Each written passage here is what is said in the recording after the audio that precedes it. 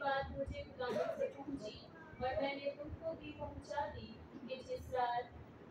कि खुदावन यीशु ने जिस रात को पकड़वाया गया रोटी ली और शुक्र करके तोड़ी और कहा ये मेरा बदन है जो तुम्हारे लिए है मेरी यादगारी के वास्ते यही किया करो इसी तरह उसने खाने के बाद प्याला भी लिया और कहा ये प्याला मेरे खून में नया अहद है जब कभी पियो मेरी यादगारी के लिए यही किया करो क्योंकि जब कभी तुम ये रोटी खाते और इस प्याला में से पीते हो तो मौत का इजहार करते हो जब तक वो ना आए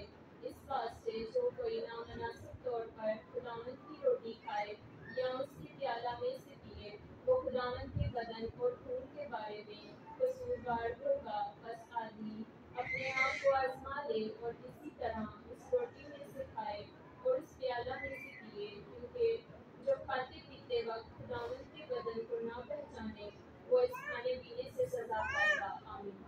बदन